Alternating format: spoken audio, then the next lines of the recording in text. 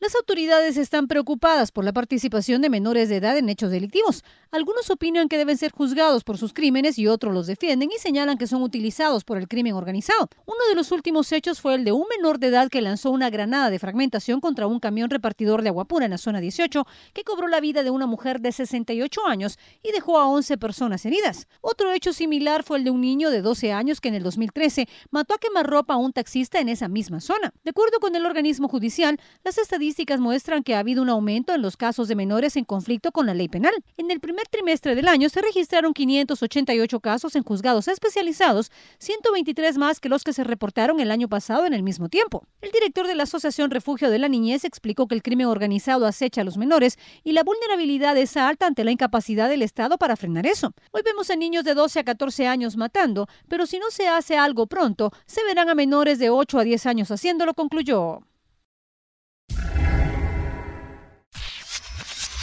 PubliNews, lo más importante de las noticias, un diario internacional de Metro y del grupo Emisoras Unidas, 50 años.